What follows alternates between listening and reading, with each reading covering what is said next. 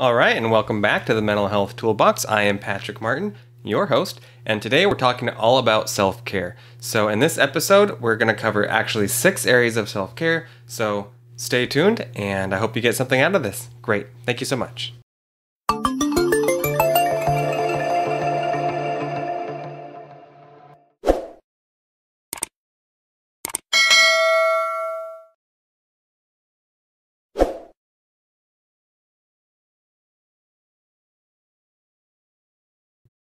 All right, welcome back to the Mental Health Toolbox. I am Patrick Martin, and I am here to teach you ways to improve your thoughts, your emotions, and your behavior so you can live a quality life and do more than just cope, but thrive. And today we're going to be talking about six areas of self care, and more specifically, um, actionable things, right? So, not just how to take a shower or why taking a shower is important or why you should get six to eight hours of sleep but a lot of the things that we don't necessarily carve out the time to do for ourselves and to make sure that we are protecting that time and um, not just kind of putting our last fruits toward those areas of our lives, okay? But before we jump in, I think it's important to think about what self care is, how we talk about it, you know, in semantics, and how we how we visualize that in our own lives. Um, when I'm talking to clients about self care, oftentimes I'm talking about what makes sense in their environment and what makes sense for their needs, right? Because what what works for me may not work for you, right? I love podcasts. For me, listening to a good podcast while I relax or go about my business is an act of self care. But for somebody else, they may not have any interest in podcasts. So it's really important that we think about what is relevant. So as we cover all of the topics that I'm going to go through with you today, I want you to kind of take some notes if you can, or a mental note, and think about what is relevant to you so that you can kind of circle back to that later when you have time, or even thinking ahead about how these things might be applicable to you. Okay, so um, an example for me, you know, things that I find meaningful, you know, or within my own environment.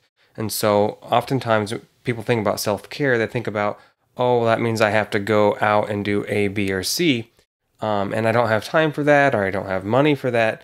But really, self care is about use of space, use of time, and use of space.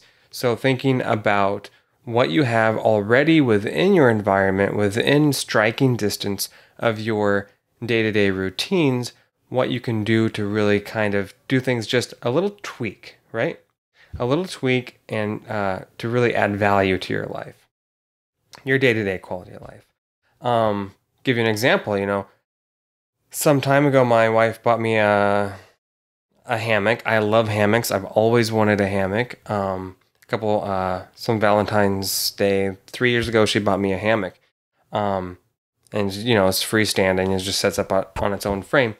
Um, and you know, the frame sits outside and it, you know, I package up the, uh, the hammock itself and put it in the garage so it doesn't get dirty and whatnot. Um, but oftentimes it wasn't used that much until this whole quarantine stay at home thing started and we all started working from home. And all of a sudden, I took a mental note and I, I noticed it more. And so I hung it up and it has actually been really neat because my kids love it. I love it. And it's just something that was always in my environment, but I just didn't see it. I didn't observe it, didn't register as something I could just do on a regular basis because it wasn't part of my routine. Um, other things that come to mind uh, within the environment, you know, is coffee. You know, for me, I am a, I've always been an avid coffee lover. It's something um, that's always been a part of my morning routine since as long as I can remember, even into my teens.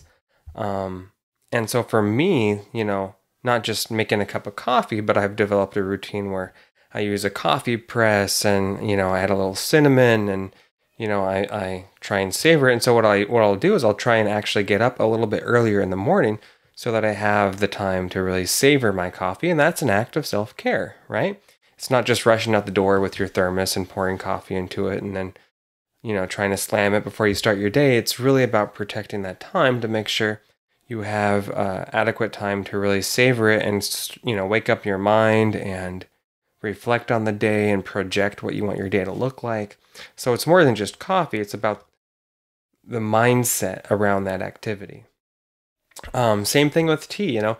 I uh, this last year I have really as I cut down on my caffeine, um, you know, I'll have my two cups in the morning of coffee, but then the rest of the day, you know, I've really gravitated toward loving tea. And I was I wasn't much of a tea drinker before last year, but it's something that I've uh, explored to, you know, as part of my self care and and reading up on blue zones. If you've never heard of blue zones, it's uh, refers to the healthiest clusters of populations throughout the world, the people who tend to live the longest, they have the fewest health issues.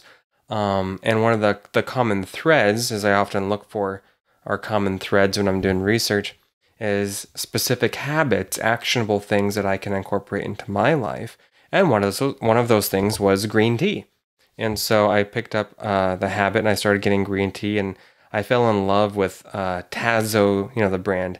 Tazo makes this green tea with ginger uh, tea that I just love. It's it's mild and it's um, easy to drink, and you know you can pour it pour in uh, boiling water a couple of times and use the tea bag twice, and it's just really become part of my stable, but also part of my self care. It tends to be how I end my day is with a couple nice uh, hot cups of tea, and I might sip on some tea, you know, throughout the afternoon. But it's really been um, part of my ritual, if you would uh, whether I'm at, at work at the office or working from home or in the home office or even just lounging on the couch. So tea is important to me. And, uh, uh, you know, reading, you know, they say uh, leaders are readers, right? And so reading has become a really big part of my routine. Not that I, you know, didn't read before, but carving, again, carving out time. So if it's not an audiobook, then I'm reading a physical book, you know, and I tend to gravitate toward books that have practical advice. So your Dave Ramsey, your Pat Flynn, your Dale Carnegie, you know, actionable, you know, applicable information to improve my quality of life. And that tends to be my my my zone. Like if you follow my podcasts or my blog, YouTube channel, then you know I I'm very tangible. I'm a tangible kind of guy. I'm a tangible therapist. I tend to gravitate toward things we can we can do, we can act upon to improve our lives. And so for me, when I think about self care, it's it is uh, definitely sprinkled in there. You know, when it comes to the information I'm absorbing, you know, I'd much rather probably sit down and watch a YouTube video on how to improve upon something than maybe necessarily my favorite sitcom. Not that I don't like sitcoms, believe me, I do. Um, but I'm also very, you know, it's just I enjoy the uh, the practical wisdom, okay, and learning. Um, and you know, it could just be something very passive. You know, we have a fish tank, and I've really, you know, over the years learned how to take better care of our fish, you know, so they they live a while and uh, they're healthy and the tank's clean and how to use the right filters and um, you know, our kids have grown very attached to our fishes. And so for me, just, you know, taking a moment to pause, you know, whether it's in the morning and I'm feeding the fish or if I'm just passing by the hallway and I, I see the fish tank, I'll pause and I'll just kind of, you know, pay some attention to the fish. And because it's very soothing for me, to think about, you know, what, you know, just to appreciate life. And even if it's, you know, a fish tank, you know, there's, there's a lot of, uh, a lot to be grateful for, you know, and just observing uh, and, and noticing our environment. Um, same thing if you're outside, you know, noticing the trees and nature, right? The fish tank is kind of like that for me. Um, another thing that, you know, we've been doing a lot more is our pat, you know, using our patio, you know, before when it's the hustle and bustle and the nine to five and, and working, um, we didn't really u- utilize our patio a whole lot in terms of relaxing. But since we've had the working from home and staying at home orders, definitely been uh, a lot more appreciative and grateful for our patio. And um, we put in more patio lights and doing a lot of gardening and planting and um, just really that feeds that sense of gratitude, the attitude of gratitude, you know, for what we have in our home environment. And we've been using our little chimney and fireplace more that we got some years ago.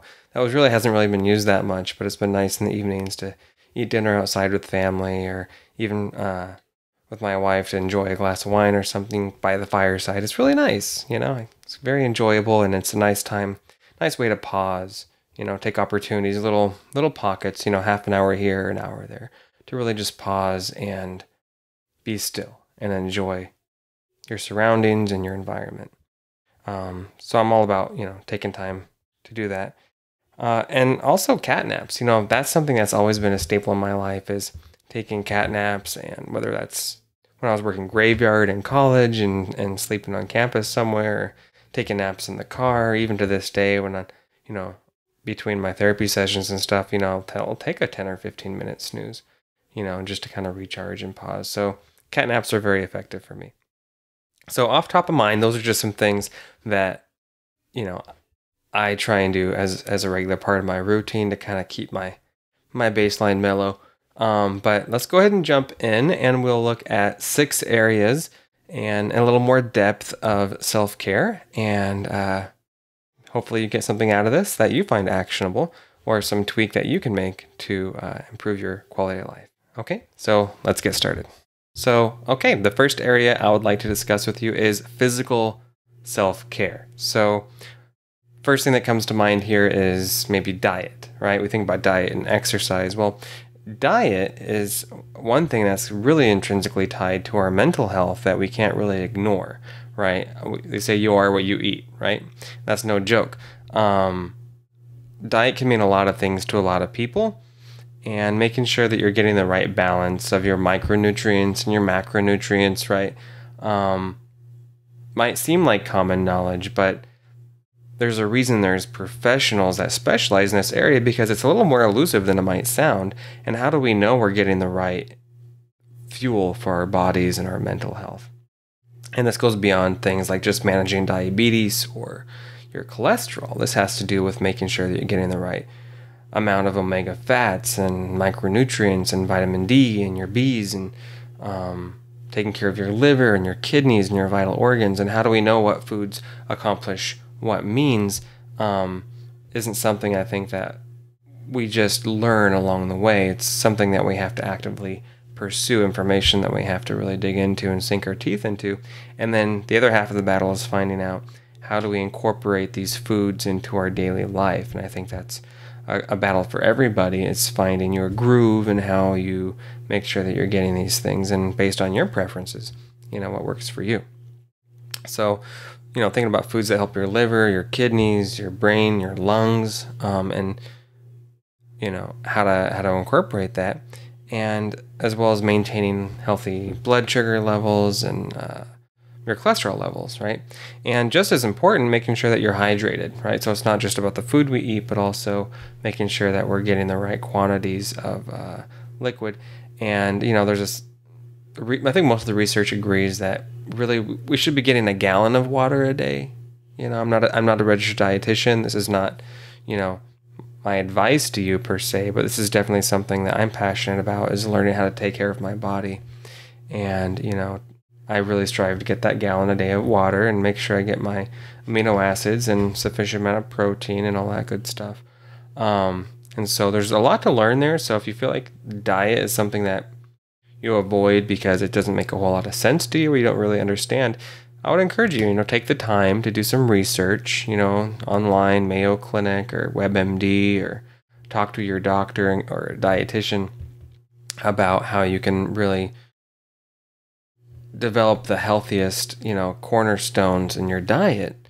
Again, you know, I like to research those blue zones and look for common threads of staples in their diet and what works. Uh, so it's not just about what you avoid, but it's also about what you incorporate, right? And mental health, we talk about those as protective factors. So it's not just things that we're trying to avoid, but things we want to make sure that we're attending to. The other thing is exercise, and this is a very, you know, sometimes triggering topic for people because there's a lot of emotion tied to the idea of exercise, um, especially in conjunction with diet.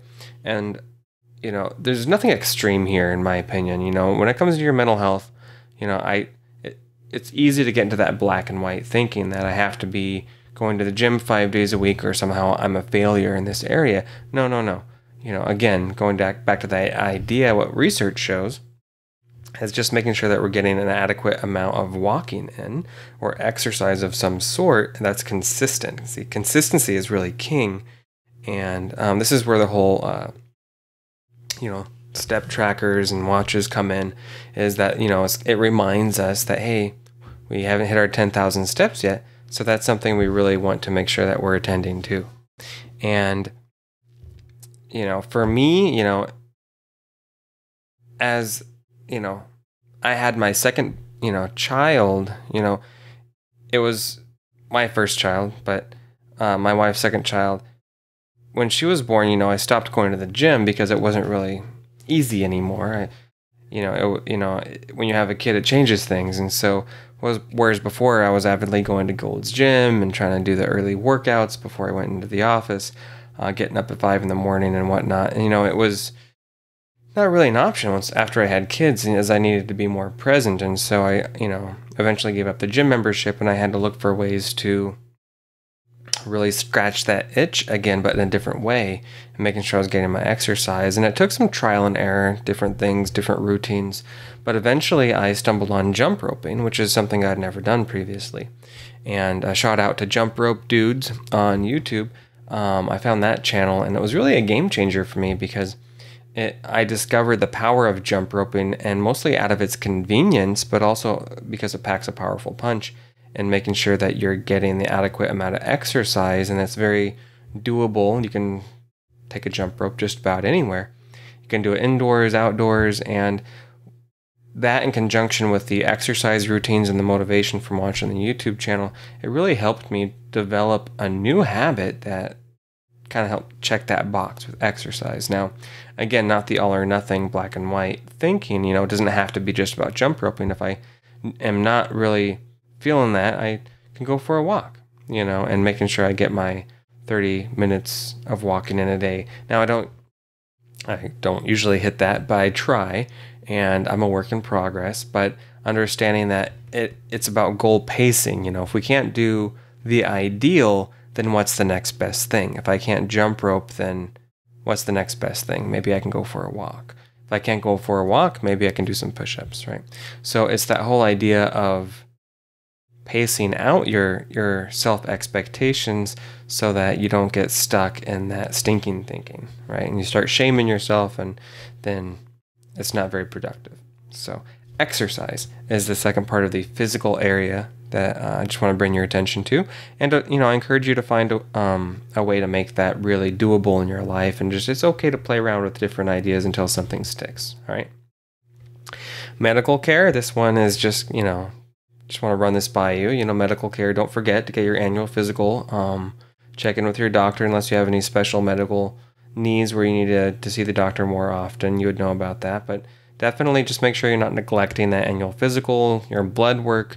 You know, um, there's a lot of things that the blood shows that, you know, we don't want to miss. And so things like your blood sugar, your cholesterol, um, those are things that we can physically take action on. And there's enough information really out there that we know how to attack these things.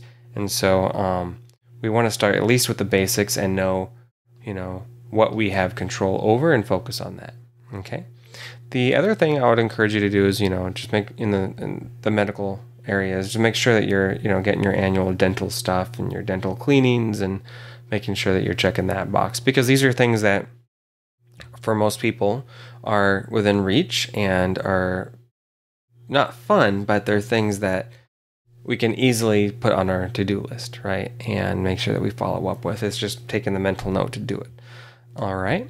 Um, the other thing with the physical area of self care is time off. So, making sure that we change hats from when we are not in the office or not working, um, that we are really taking time to take time off and, and focusing on how we maximize that time and prioritize it so that we go back to work ready and recharged and not building toward burnout or feeling resentful. You know, even for me, you know, whereas I have my full time job and also my private therapy practice. Um, and I also do my, you know, my podcast and YouTube on the side, my blog. Um, it's, you know, even though I'm doing those other things and I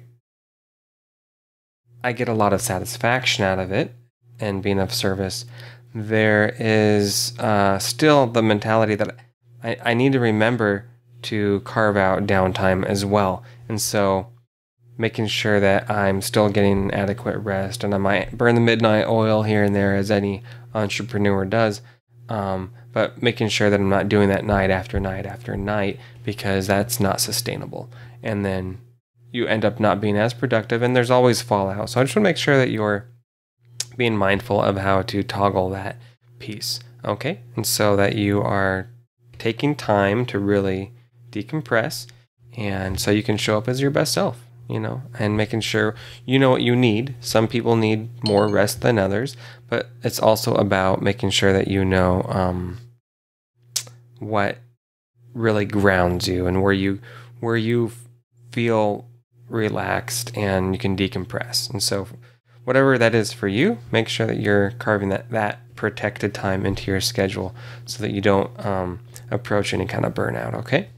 Okay. And so the other thing I want to touch on in this area is making sure that you are also indulging yourself a little bit. So, more than self care, this is that added little bit of pampering, you know, to make sure that you are you're uh, rewarding yourself for um, doing a good job and and just from time to time making sure that you are uh, indulging yourself, whether that you know might be a day at the spa or a mani pedi or a massage or something that um, or an extra long bath with some bath salts uh, you know definitely uh, something i would encourage uh, my wife. You know we have this uh, little foot massage uh, kendall i had gotten her some time ago and add a little bath salts to that with uh, some essential oils of lavender and tea tree and she has her own little foot spa at home. In fact both of my my my girls have uh, really taken to it as well. My five year old and 11 year old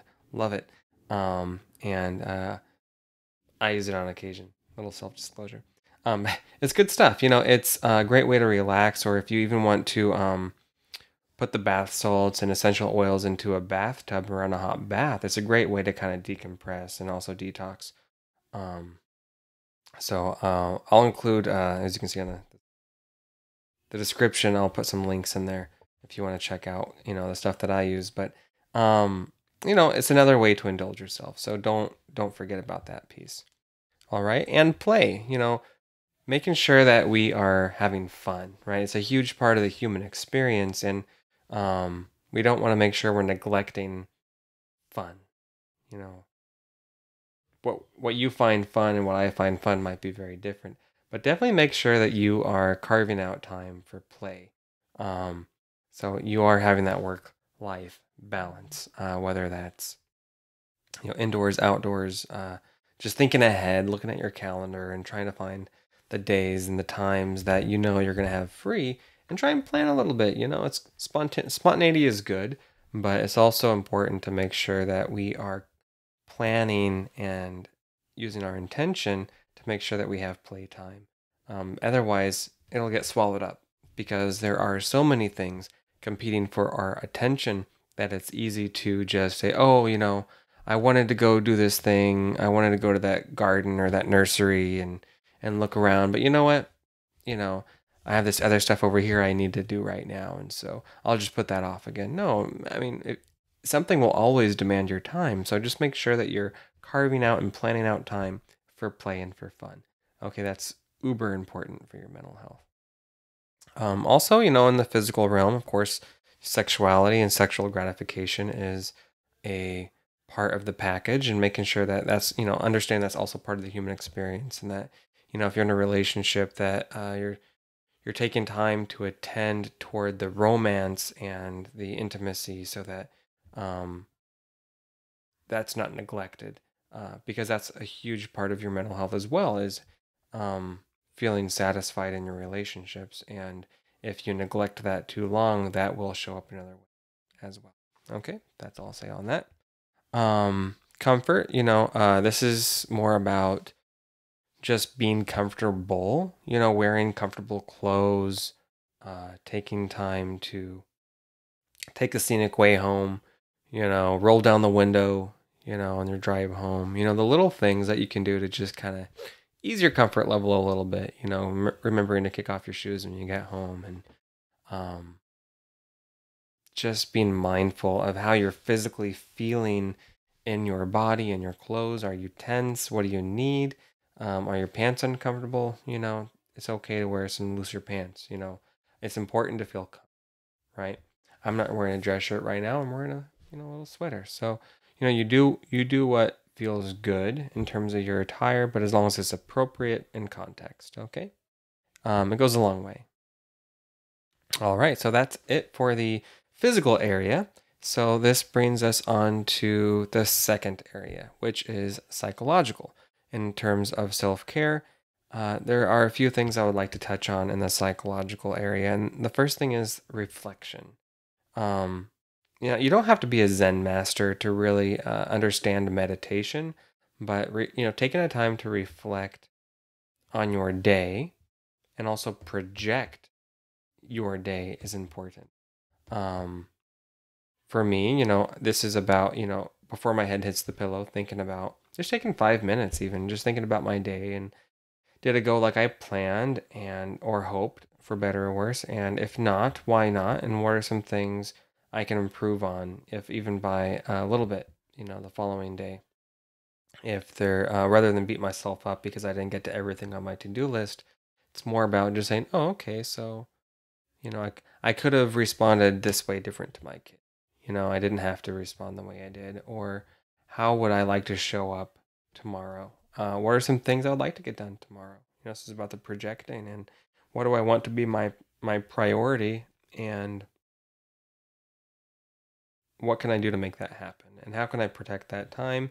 And again, looking for that balance as you project, you know, thinking about what needs to be done, what's an option, and what would you like to do, you know, and making sure all of those things are attended to and that you're doing things on purpose and for purpose and with intention. Now, one note on this, not I guarantee you like nothing ever goes according to plan entirely, but as long as we have a framework for what we want to prioritize in our time as we project ahead in our minds, the more satisfied we will be at the end of that day. And so why, that's why this is, you know, mindfulness and meditation is so important for your mental health. It's because it's about understanding your intention and what you have control over. And as you can, as you understand that you have that internal locus of control, to kind of dictate to some extent what your life and, and day-to-day looks like that's very empowering and also to understand that the things that are not within our control which leads to self-compassion right and understanding okay? So that's reflection you know um, like i said it's just something you can do uh, before your, your head hits the pillow reflecting back on the day and also projecting forward on what you want the next day to look like um, I often use something called Google Keep Notes as a way to kind of keep track of my to dos and wants and and kind of slide those around in order of uh, preference. And so it kind of reminds me of what I want to accomplish. Uh, and you can also get up early in the morning, you know, and reflect on your day and, and what you, you want it to look like. So I'm more of a night owl. As much as I admire the idea of getting up really early and, you know, before the sun rises and meditating, that you know, that doesn't work for me very much. I'm much more like reflecting after the kids go down. Um, the house is quiet, you know, the late the late hours of the night. Um, then I can have a little quiet to think about uh, what I want to focus on and what's important to me and why. And for me, that that works for me. You know, I just I've just figured out I'm not really an early morning guy. I do my best work at night, usually in terms of my mindset and my thinking and reflection. Okay. The next thing I want to note in this area of uh, psychology is it's important to get a person. You know, a person meaning if that's if you don't have a spouse, uh, a therapist, a mentor of some kind, um, but really you just need someone that has an unbiased, non-judgmental, objective point of view that you can bounce things off of, and that will help you solidify your intentions, um, and that has your best intentions at heart. In addition, it really doesn't hurt to have friends who will offer you their advice. Just make sure you have a good balance of people that uh, are kind of more of a neutral, mentorish type support and people who are just going to give you their direct advice. Okay? So, the next thing I would encourage you to think about in terms of your psychological health is journaling. Okay. So, this is nothing new. Everybody's heard of journaling, keeping a journal, keeping a thought diary. And it's pretty well accepted at this point that writing down your thoughts and feelings is a good way to, uh, it's cathartic and it's a good way to decompress, right? Um, so, why don't we all do it? That's a little more challenging than it sounds. Even though we know it's good for us, problem is it's not always convenient to take the time to sit and write out our thoughts, right? Here, I just want you to find an easy way to express your thoughts and feelings and to get them out of your head and onto paper of some sort. For me, even even I, I'm not I'm not big on journaling so much. Um, but what I do do is I take notes on my phone, um, usually through Google Keep Notes, and I will write down thoughts that I find meaningful or observations that I make within myself and any contradictions in my behavior and my goals. And that helps remind me of what's important and what to focus on. Um, and working with my therapy clients, I will oftentimes have them keep a mood scale uh, or um, a worry journal for anxiety as a way to kind of hone in on what's con- you know to make those links between contributing factors and their mood as well as their coping behavior so that they can start to, to connect the dots between um, a how they're responding to stress but also the protective factors what's helping them de-stress and what kind of external factors contribute to both their stress level and coping behavior all right. And so, like I had mentioned before, you know, when it comes to psychological uh, self care, reading is really important, I think, to make sure that we are taking time to incorporate uh, reading for not just entertainment, but also for inspiration and to uh, attend to our critical thinking and reminding us of what's important and also how to grow um, in, in personal development. And I and like I said, I'm very big on practical wisdom, so I tend to gravitate toward those types of books and, and actual information. If you want to see a list of uh, some of my recommended or favorite books around uh, personal development or for learning about specific areas like anxiety, depression, relationships, um, you can definitely check that link out in the description and uh, you can take a look and see if there's anything there that you might be interested in in terms of uh, picking up something new to learn um, and grow. All right. Uh, and also, you know, I think it's important that we get outside of our bubble, you know, our day to day routine. And, uh, you know, they say variety is the spice of life. And it's really the idea that, you know, if we can just tweak things by 10% and keep some uh, spontaneity in our lives that way, it really tends toward our sense of happiness. A lot of research has shown that uh, when we find ways to do new things and expose ourselves to new environments, that it creates new pathways uh, in our in our minds that uh, lend toward a state of satisfaction and happiness. So, um, you know, don't don't negate the idea, the importance of getting outside of your routine a little bit. It's okay to do new things and try new things and uh, even if it's just going for a walk down a different street than you normally would. Okay? So step outside your bubble and also decompress. You know, I want you to think about um, ways that you can take time to do those things that you've been putting off to decompress. You know, in the sense of self care. If you've been wanting to take that nice long uh, hot bath with uh, your favorite book or music, you know, do it. You know, look at your calendar and figure out a time to make that happen and give yourself permission and then do it. Take that walk, take that bath, uh, get that massage, get that pedicure, um, read that book or see that movie. You know, these are things that I really want you to make sure you're not neglecting too long um, because when we do take care of ourselves, our body thanks us for it. And it actually allows us to show up as our best selves in other areas of our life. Okay, when we're when we decompress, we're less stressed. When we're less stressed, we impress, right? We impress the people around us um, by our improved attitudes and our decreased uh, distress tolerance. Okay.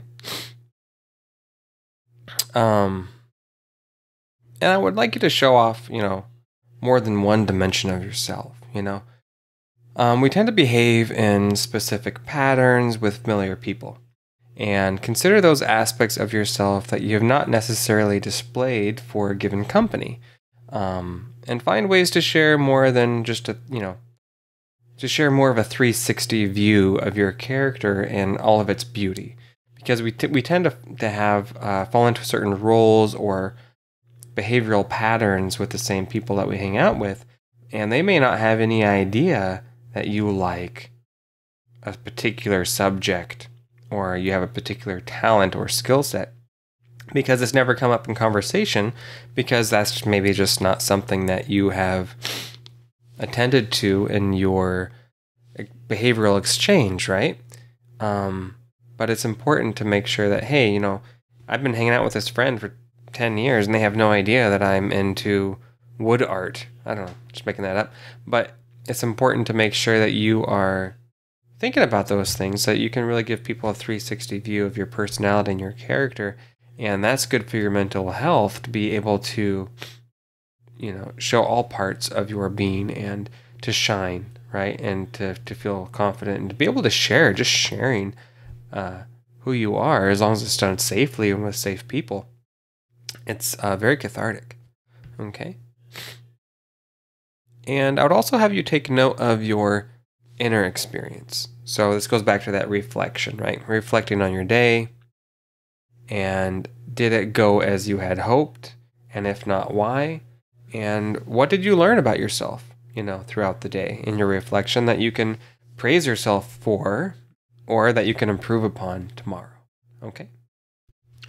All right. So the next part of the psychological area of self care is challenging our intellect. So it's important to stay stimulated, right? Like we talked about reading, staying inspired. And if you feel like you're growing tired of your routine, it's probably because you're not being challenged enough.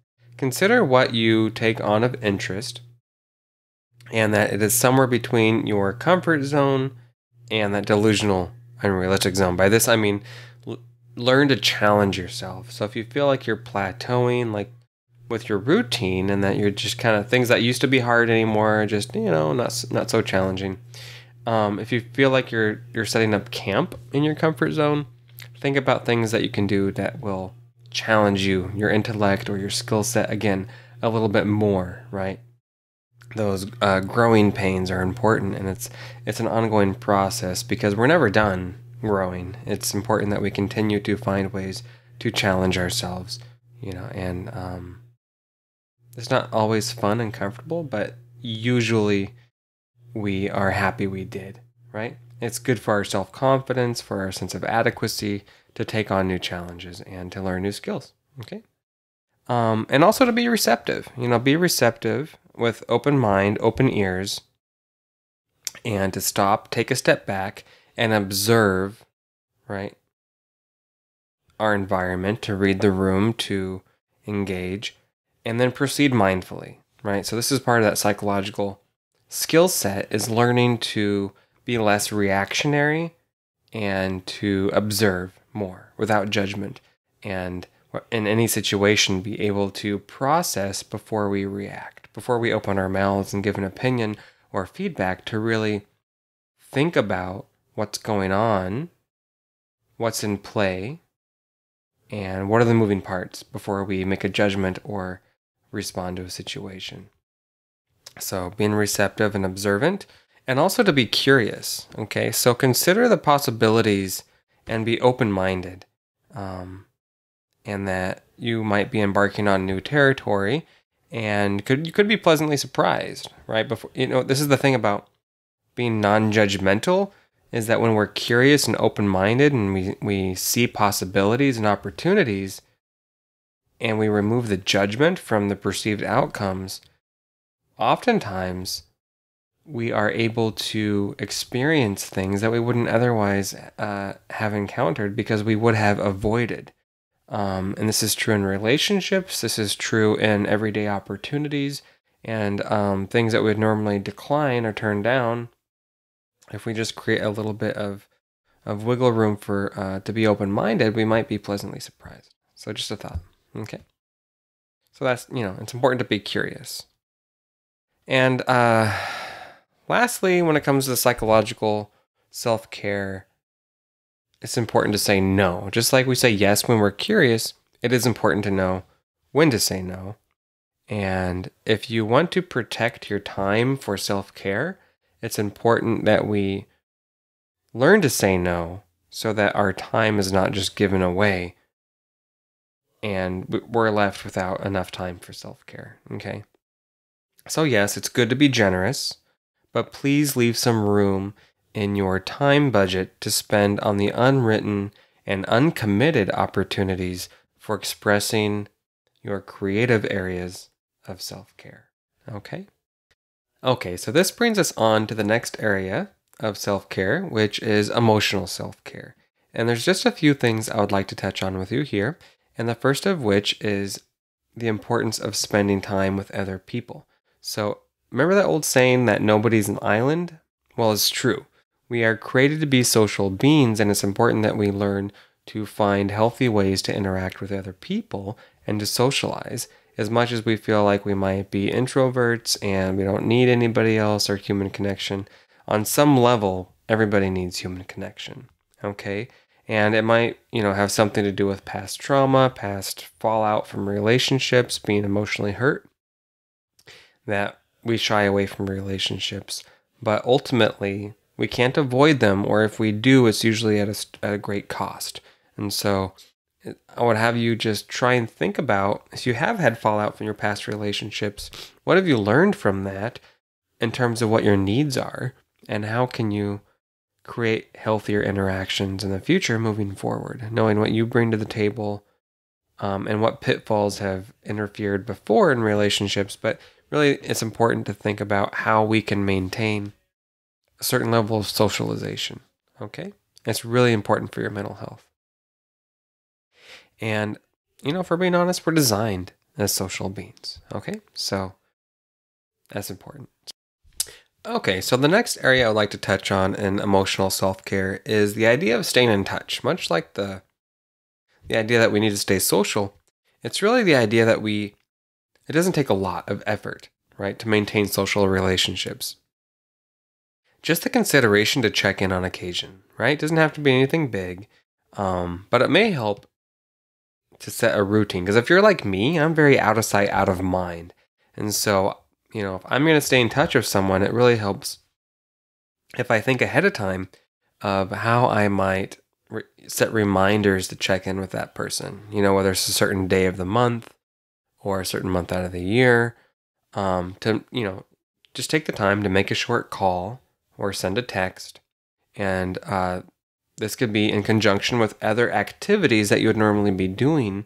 Um, so you don't, you're kind of doubling down on your time. Like when I used to have an hour commute to work, that's when I would do most of my phone calls to family and friends as a to check in. I'm already in the car, uh, so that time's already kind of protected, if you would.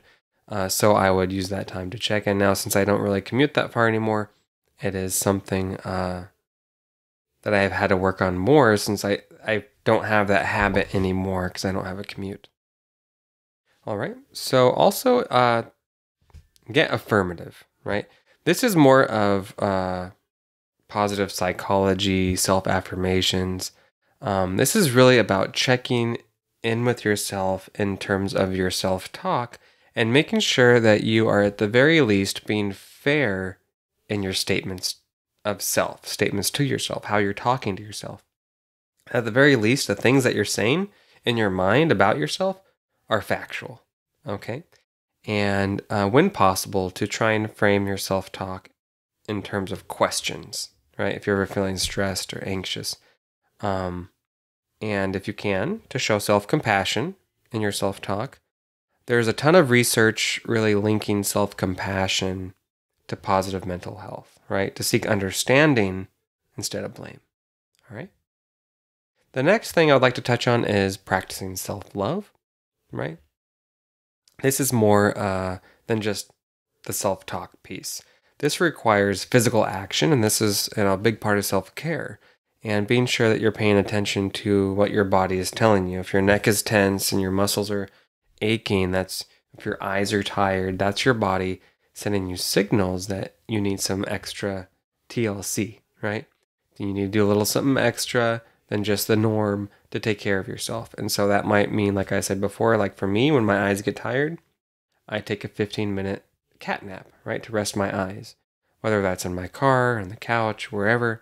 And it doesn't require a whole lot of me. And, you know, taking out 15 minutes from my day is not going to derail my schedule. You know what I mean?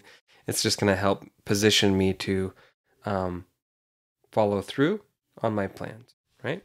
Without uh, feeling burnt out by the end of the day.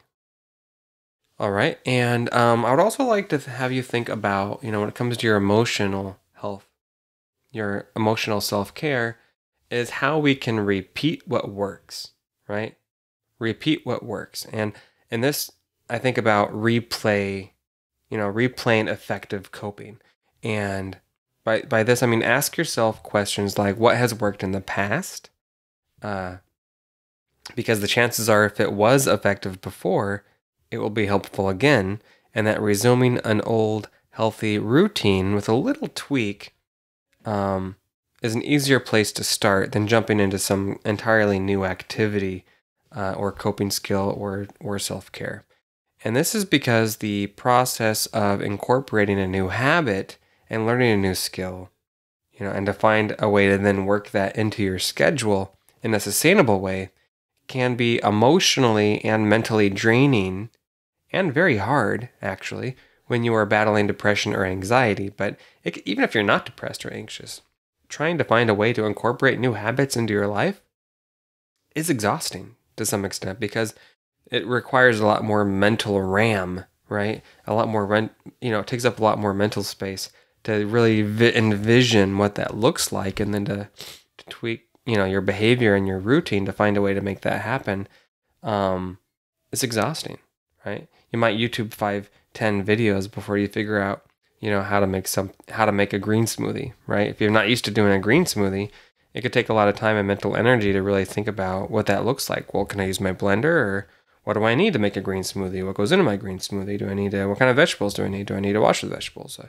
you know so if you're not used to it it can take a lot more time than if you're just, you know, you have a favorite salad at the grocery store and all you have to do is, you know, pick up that salad. Um, just an example. Oh, okay, so another thing I'd like to touch on is how to identify and seek out safety and comfort. Okay, so what is your safe place? You know, you think about when you're stressed, what environment, what place do you feel protected and safe? And who are your safe people? You know, who makes you feel safe? And trying to create a high definition HD picture of what this place and these people look like when you're feeling tapped out will make it easier to act on them, meaning it'll make it easier to create that environment in your life or to plan or call those people or recreate that environment when necessary. Okay? And think about how you'll get there and how will you solicit that kind of support that you do need. You know, that whether that's practical, spiritual, direct, unfiltered feedback, or just a shoulder to cry on. So, the next thing I would like to touch on in emotional self care is the importance of making room to cry. So, it used to be a societal norm where men were not allowed to cry, right? It, it was just taboo. And not only has this societal norm remained static, it's actually now kind of applied to both sexes. Uh, you know, the same expectation where women and men are both held to the same unrealistic standard that crying is not okay. It's not okay to express or have your emotions. Um, but rather, as we understand it in mental health, crying is very cathartic. It's a cathartic behavior, and it allows space to vent um, and decompress. And crying is a crucial part of your self care regimen. You know, be, or having some some means of expression, or at least the freedom to feel that you can express yourself as needed, and that it's not a sign of weakness. Um, it's actually a strength, and that you know we do so in a safe kind of social socially accepted environment whether that's over a glass of wine with your best friend or if that is uh, you know with your partner you know whatever whatever this the case is that you feel that you're you're allowed and it's safe to express yourself that's really important when it comes to your mental health um, and emotional self-care Okay, so the next thing I want to touch on is the importance of having a sense of humor, right? So, having a sense of humor is a really important part of uh, self care, uh, especially when you consider um, how easy it is to neglect that part of ourselves. You know, we can get so serious about work and the hustle and bustle and all the things on our to do list that we forget to just entertain that, uh, that yeah, very human part of ourselves. And you know, for me, it's really important just to laugh at myself and uh, take things in stride. But a good example of how I've applied this is, you know, when I used to have my uh, long commute back from work or to work, after a stressful day, I would oftentimes turn on the iHeartRadio uh, comedy station, and that was a great way for me to decompress. You know, so that by by the time I got home, I was in a whole different frame of mind than I was, you know, before I left work. And uh, so it's important that you just, you know, don't neglect this part of yourself. Remember that old adage that laughter is good medicine. It's true.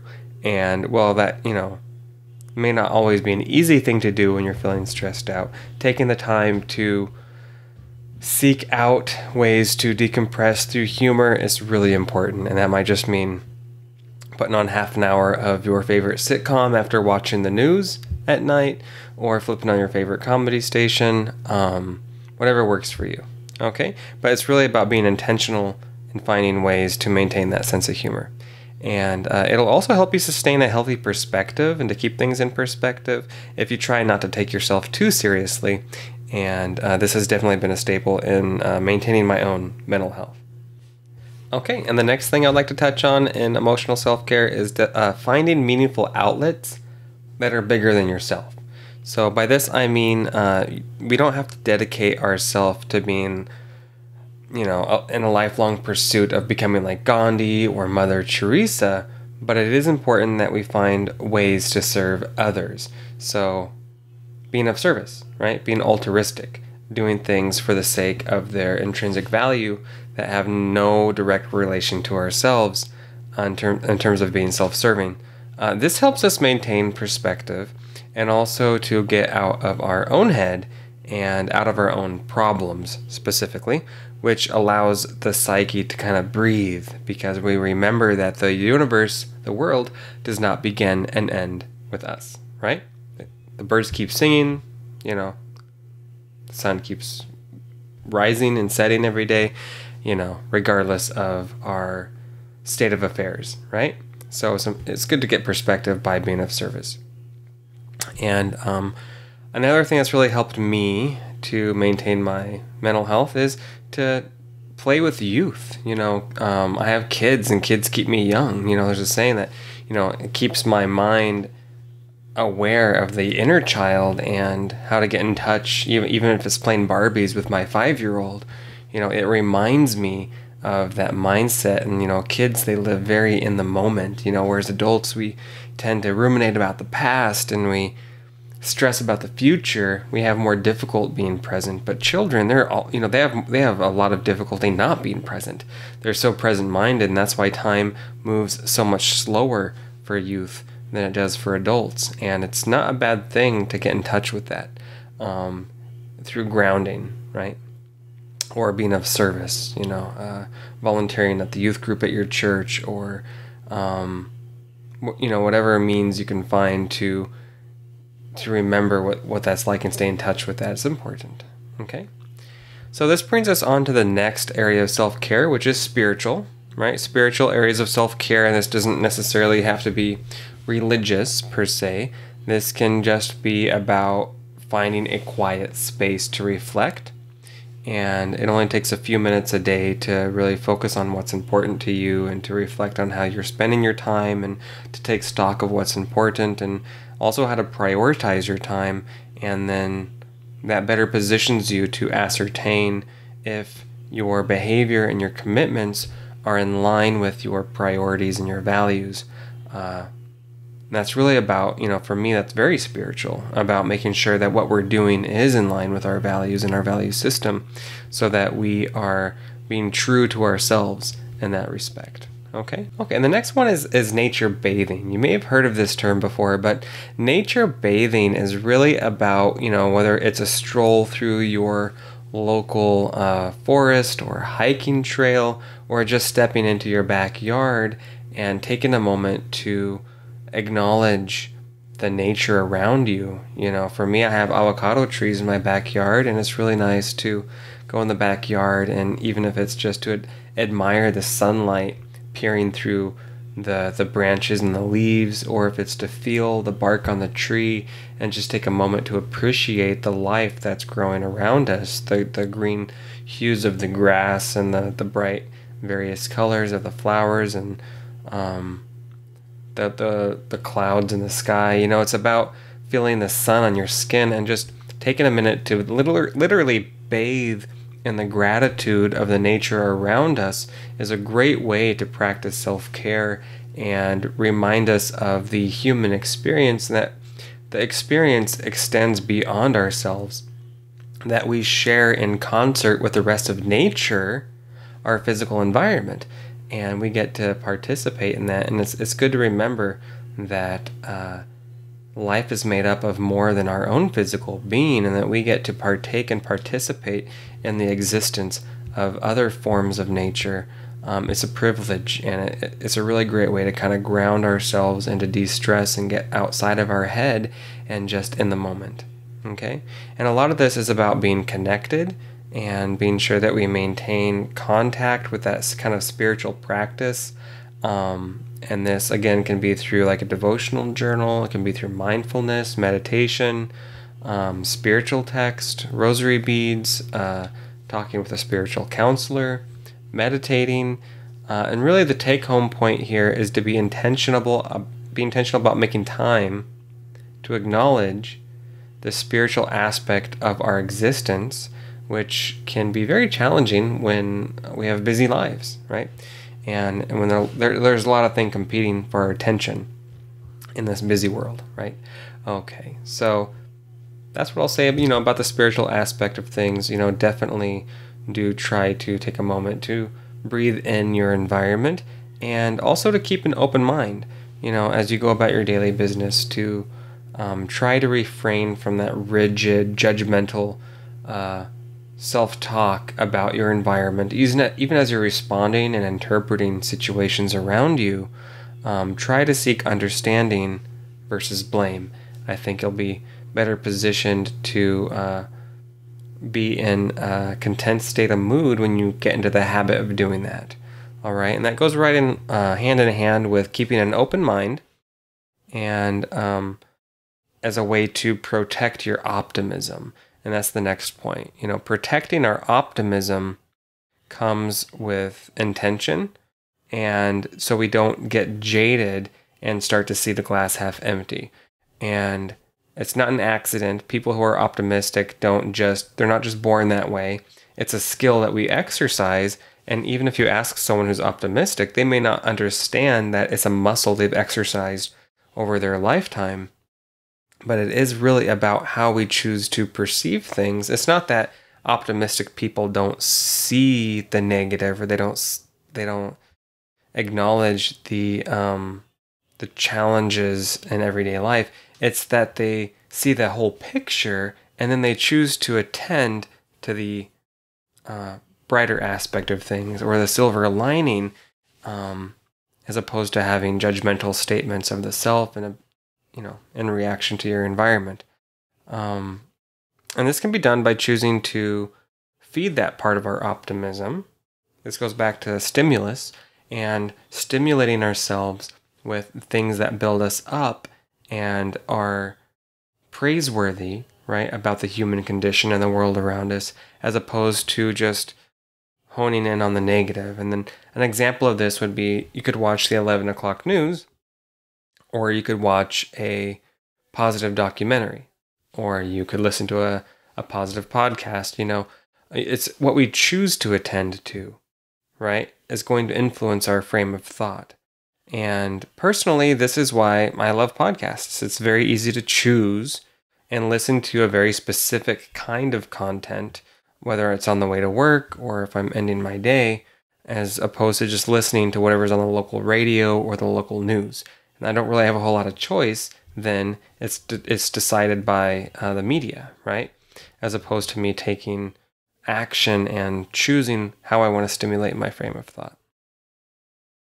And then, you know, there's the idea of focusing on the non tangible, right? In a world where we have cell phones glued to our person 24 7, we have to make a concerted effort to really put our phones out of reach, uh, whether it's at the dinner table or with family, or I don't know if that's just me, but I literally have to make it a point to turn my phone face down behind me on a counter so that I'm not distracted. Even though I'm physically with my family, I have to I have to physically get it out of my range of view, out of sight, out of mind, so I'm not then tempted to look at it, even if it's just out of uh, habit. Um, and unplugging helps a bit and gives us that un- undivided attention to the things around us, so we can see the wonder in them. and can, we can also give them the attention that they're due. And this can also lend toward a greater appreciation for the existence uh, of our fellow beings and environment, but also develops an attitude of gratitude.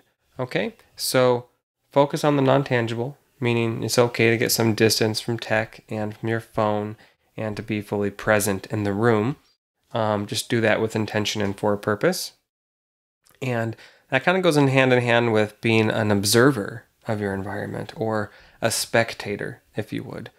Um, and being uh, an active participant in your life is very important, but don't forget to take a step back from time to time and focus on taking in the scene of the room, reading the expressions on people's faces, you know, just being an, a, a spectator and really kind of soaking soaking in all of that in your environment and getting a feel for that. That's a really important aspect of emotional intelligence, and that's something I fear that the this generation, next generation, is at risk of being a little handicapped is if we, you know, we spend so much time on social media and our phones that our attention span dwindles, but it's also we're so easily distracted, whereas we aren't paying attention to our environment as much. We don't pick up on as much. And we don't necessarily make the same connections and interpretations that we other, otherwise would because we're not paying as much attention.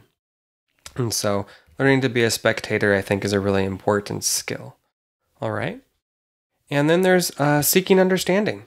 You know, when we try to gain better understanding of something or in resolving a dispute, it helps to be quick to listen and slow to speak, right? This puts us in a better position to make educated decisions and how we choose to proceed, and it really improves all of the areas of self care when we do this. It's an active effort to really see the moving parts and why somebody's behaving the way they're behaving or responding the way they are before we make any provide any feedback or make any judgments about the situation. Okay. I would also have you identify and prioritize what is most meaningful to you. This is a really important aspect of spiritual self self-care and that it helps if we know what our non-negotiables are, what our core values are, and we allow those values to then inform our other decisions that we make in our day to day life. And you could look at this through your time of reflection, that we talked about, your meditation, and try to identify the things that you hold most valuable in your life. And keep a list to kind of check it against, like a check and balance, to later evaluate if you have been making decisions that are actually in sync with your value system and also when projecting how you plan your days ahead to make sure that the time that you're allocating for the next day, for example, is in line with your values so that you don't end up with more regret when you don't get to the things that you would have otherwise preferred to get to. And so it's a big part of our spiritual walk, if you would, in terms of using our time with intention, but also a lot of, you know, with um, prudence, right? Okay.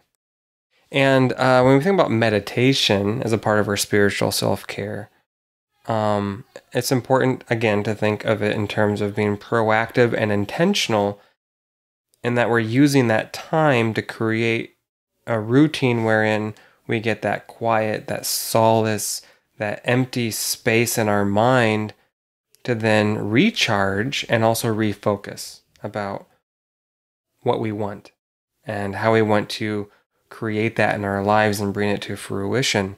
And as a therapist, my full attention is demanded really hour after hour in problem solving, seeking understanding, and assessing how and when to provide meaningful interventions. And in order to keep functioning at my best and best serve the others around me to the best of my abilities, I have to create these small pockets of time where I have quiet during the day without any distractions. And when I neglect to do this, man, do I feel the difference because I my eyes are heavier. Uh, I get headaches, you know, if I don't take the time to really pause and you, you know, even if that's just to go to my car and rest my eyes for 15 minutes to decompress, it's really important because um, otherwise we can tap out pretty quick. All right. So, meditation, whatever that looks like for you, I, I strongly encourage it, um, even if it's only a few minutes a day. It doesn't take much. All right. The next thing I would like to touch on is the importance of being expressive. So, be sure that you have a creative outlet, you know, whatever that is for you for some, it's art. For others, it's writing. For some, it's gardening, right? Having a creative outlet, and um, that could even be a sport, right? Or some kind of interest, a very specific interest where you have a sense of adequacy and competence that you can build upon and that you can scale is a way to express yourself. And if you're, as long as you're investing some time into this expression of what is meaningful to you, then you're you're checking that box, right? Being, being expressive. I would also encourage you to try and seek amazement, right? Seek ways to be kept in awe of the complexities of this human experience. Um, the deep complexities, right, of the universe and within ourselves, and to take time to stargaze. I love that. You know, it never stops blowing me away when I look up and I just take a really deep look at the stars, and I'm like, man, that is a trip, right? I mean, the universe is just it really it puts things in perspective, doesn't it? When we think about our role in the universe, it's it's very humbling. Um, that could also mean uh, watching a new documentary, taking a road trip, or even just a day trip to a new place. It it feeds that sense of amazement and inspiration, right, and awe that we continually are able to surprise ourselves or take in um, our environment in, in different ways. And this is honestly one of my favorite areas of self care is to keep myself stimulated and inspired. All right. And another thing to keep in mind is why it's important to participate in meaningful activities. And by that I mean here you just want to be sure that you're plugged into something that is actually routine within your that's also in line with your values that you can maintain right consistently. And this could be something like a church group a volunteer service a sports club a league or something to that effect. Something where you are physically participating not just spectating. We talked about the importance of being a spectator but it's also important to be our participant in other areas okay and the last thing I want to touch on in this area of spiritual self care is the importance of seeking inspiration, right? So, by this I mean what tickles your fancy, right? For me, it is usually learning healthy lifestyle hacks, practical wisdom, financial literacy. And so I will subscribe to podcasts and blogs and YouTube channels that speak to these topics because they are the things that keep me inspired to, uh, up, you know, because I like actionable information that I can tangibly see the movement in my life and I, I can compare those milestones, right? And I almost always gain a new nugget of wisdom, or at the very least, a better perspective by listening to these things or watching these things that overall improves my mental health, or at the very least, keeps that at my baseline, right? Well, that's the spiritual self care. I hope that piece was helpful. And next, we're going to talk about the workplace, okay? Okay, so next, I want to talk to you about the workplace and how we can practice self care in managing our role, right, when it comes to our occupational obligations. And the first thing that comes to mind is protecting our break time, right? There's a reason we get a break time or the lunch hour or the 15 minute intervals is so we have a time to decompress, not so we can find more ways to work. okay. I say this from personal experience. There's always a pull for me to try and get more done with my break time. And then, even as a therapist, I have to learn to protect that time and use it wisely. Um, and I know it's harder for some than others, and it can be harder than it sounds, but try to be mindful of scheduling a couple breaks in your day to recharge. Okay, so you'll be better off for it, even if it's a 15 minute break, um, or a walk, or a power nap. Um, I like to nap in the car. So I try and mix it up myself, you know, because I have a sit down job. I'm, you know, I don't get much activity, so I do try and make sure that when I'm taking breaks at work, that I'm getting a walk in and I'm balancing that out with some other self care. Maybe it's a 10 or 15 minute nap, but I do try and make sure that I'm doing um, both so that I'm taking a holistic approach to my self care and my break time. Um, all right. And the next thing I would say is to make sure you're being social. So uh, I'm not suggesting that you procrastinate on your duties at work, right? Um, such as like chatting up, you know, about the most recent uh, game or TV show, but try to make time to greet your peers in the workplace. And by this, I mean brief check ins. So just briefly check in with others when you have some downtime, little gaps in your schedule, and uh, dive into deep conversation a little more when it's appropriate, but uh, within your work environment. So by this, I mean it's better to have mini check ins with your peers as opposed to trying to get into deep conversation and get derailed. But if you have more time, such as you know in the lunchroom, and you have a little more time to dedicate toward the deeper conversations, that's appropriate. But by no means do I want you to get in trouble for uh, chatting it up at work when you should be working. Uh, but you get the idea. So just take a take a little effort to um, be social, you know, in the workplace when it's appropriate, if it's appropriate in your workspace, and um, also to create a quiet space, right? So Options will vary based on your environment when it comes to creating quiet space. And uh, but I found that taking 15 minutes in the day to just sit in my car and rest my eyes will make a world of difference in how I perform at work and also how I feel after work. Right? I've mentioned this a few times, and that uh, it's really a small investment uh, in terms of the impact and quality, uh, the quality of life right, that you'll see improvement upon that extends beyond the workplace when we are just trying to make sure that we are decompressing a little bit throughout the day. Okay?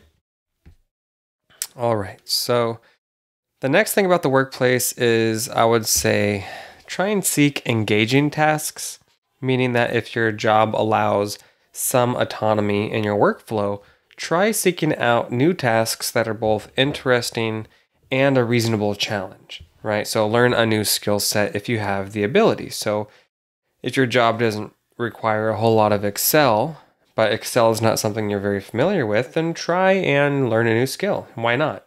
You know, um, or whatever you're into and whatever your, your job has potential, you know, for growth or to learn something new or take a new training, by all means try and seek things that are engaging that keep you interested and motivated in the work that you do. Um, so I think that's important. Okay, so the next thing I would like to touch on is boundaries and how to maintain boundaries and why it's important. Maintaining boundaries with others and with yourself is important, and it will protect you from creating additional work related stress and resentments down the road. Um, such as some things I try and remember, you know, don't take your work home with you when possible. Uh, take your scheduled breaks. Don't offer opinions that are not solicited. That's a big one. And do not over fraternize and do not completely isolate either. So by boundaries, I mean you have to find those that sweet spot between um, checking in with your peers, but not getting sucked into conversation, and also um, understanding that you know there's a time to work and there's a time to take a break, and making sure those boundaries are clear and predictable and repeatable, so that you uh, maintain a sense. You can feel when you're in balance, but you want to be able to maintain that feeling. That's not to say you won't be stressed at times or work harder sometimes than others because we don't have control over everything with our workflow, but there should be some predictability to it, is what I'm saying. All right. On that same note, don't become lopsided. And by that I mean, remember what good old Jack Nicholson said, right? All work and no play makes Jack a boring guy, right? Um, if life is all about work, then it will start to feel very gray and empty after a while. You know, feeling productive is a universal positive factor in our mental health, yes, but we must also take care to show moderation in all of our efforts. Okay? Balance is not always mean like 50 50. Balance means we are able to assess and hone in on the things that we are neglecting. Like if we're working a lot and we're feeling like, hey, you know, my eyes are tired and I'm a little achy, I haven't taken my break yet, it means tapping the brakes on what we can to make time over here and attend to this other area of self care that we've been neglecting so that we don't end up so lopsided because that will show up in other ways, you know, in our behavior and our stress. Okay. And then we will bring the stress home with us, which we don't want to do. Right. And so um, just take care to make sure that you're balancing as much as you can and understand that, uh, yes, there will be deadlines, but workloads and deadlines don't necessarily have to outweigh our self care. Make sense? and that we are making sure that we're attending to what's urgent and important, but also not not sacrificing self-care to just take care of busy work. Okay. Um, but this is not the the case for the majority of people unless we have taken the time to create this dynamic, a healthier dynamic where we know uh, how to maintain self-care in the workplace. I would also have you maintain a refreshing workplace. By that I mean, you know, that, that old saying, cluttered space, cluttered mind, right? So, um, also that saying, cleanliness is next to godliness, right? I don't know if I would take it to that extreme. Um, but it sure, certainly has been my experience that when I have an organized or semi-organized workspace, that I'm less stressed. You know, it. I do feel like there is a relation between our physical environment and our mental health and how we manage it, right?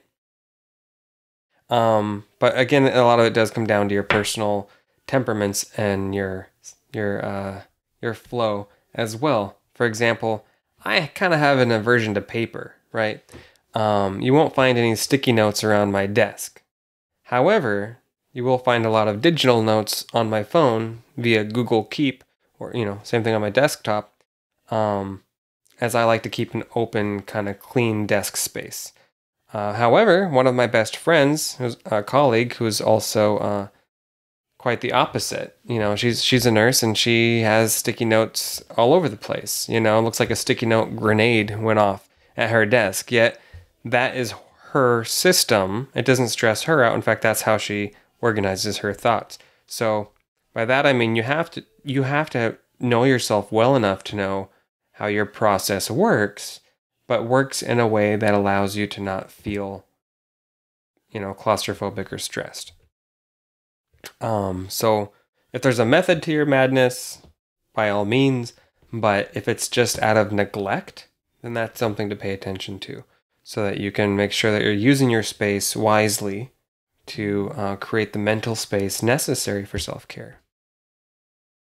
All right. And then I would also have you get some feedback, right? Um, by that I mean having sounding boards that you trust because they're an important part of personal growth.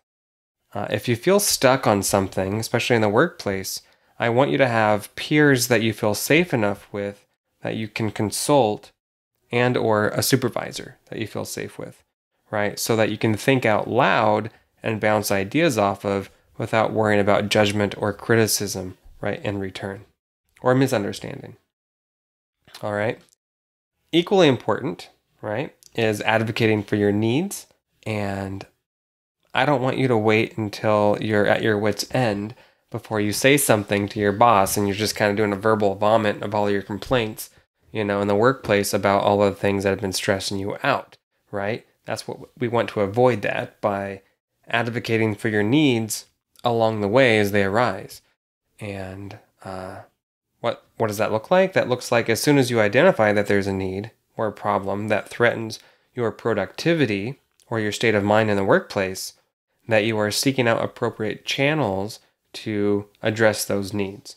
Doesn't mean that every time you have you're offended that you you go running to your boss, but what I mean is that if you have a substantial barrier to your productivity or something that you can't work your way around, then it's worth addressing and brainstorming that with your, with someone you trust in the workplace so that you can get back to business, right?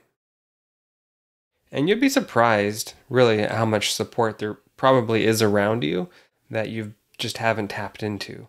Um, an example of that is EAPs. Most employers have an EAP or Employment Assistant Program where um, they will refer you to a therapist and your, your job will pay for it if you need, you know, to make sure that your mental health is in check. So that's good to keep in mind. You can also get peer support, um, consult, buddy up, right? Um, whatever works in your environment, just make sure it's that you are um, understanding that you're not an island, that we all have the same needs for the most part and similar challenges. So find out how others address their challenges, and you might get some insight into things you haven't tried that you could use to solve yours. Chances are, if you're stressed out about something in the workplace, you're not the only one that has had that challenge. And if you can find out how other people have managed that, especially if you're newer to that work environment or that employer, find some of the more seasoned workers that, that are approachable and ask them how they managed this when they started at that job or that company you know, in order to um, adjust well. Okay. And lastly, I know it's been a lot. The last thing I want you to remember in terms of self care is the idea of balance. Balancing all of these areas we've talked about, you know, the physical, the emotional, the spiritual, um, the workplace, that you find a way to kind of keep these working for each other and not against each other. Um, and to keep your duties of the day, your agenda balanced so you're not overloaded at any one point for too long. You're going to feel stress, but I want that stress to be time limited so that when you toggle to the next area of your life, you can change hats appropriately without without the stress spilling over into another area of your life. And oftentimes, this is that referred to as that work and home balance, right? And that's going to look different for every person, whether they have a physical office they report to and then they clock out and they come home, or if you're somebody who, if you're an entrepreneur and you're working from home, or if you have your own business, you know, it can get messy. And so, figuring out what that work life balance means to you is going to mean having rules that you are accountable to for yourself to make sure that you are keeping that balance. And um, like I said, it's a little bit easier if you have defined hours, but if you don't, you're going to have to work a little bit harder at making sure that you're taking care to attend to your top priorities, but also attending to your priorities in the home that are in line again with your value system. And uh, let some things take the back seat, you know, if, they, if they're not important and urgent. Um, okay. So hopefully that was helpful. That um, all of the content that we covered here, probably not all of it applies to you, but definitely I hope you found some nuggets. And if you found this information helpful, please do subscribe. And if you're watching this on the YouTube channel, you know, uh, I encourage you to uh, leave a comment, like, subscribe. If you're listening to this on the podcast, you know, I hope you're subscribed to the podcast and leave a review, you know, if you find this helpful. If there's anything that you want me to speak to directly, please do let me know and I'll add that to my content calendar. You can uh, do so using the, the comments or you can shoot me something over on the contact me form there in the description. I have all the links right there. And uh, until next time, uh, keep making good things happen and go thrive. It's just a reminder that while I am a licensed therapist, I am not your therapist. If you need a professional, you can get one by going to Psychology Today and looking up Therapist Finder. And uh, again, this is for entertainment purposes only. All right, you can take care and uh, have a great day. Bye bye.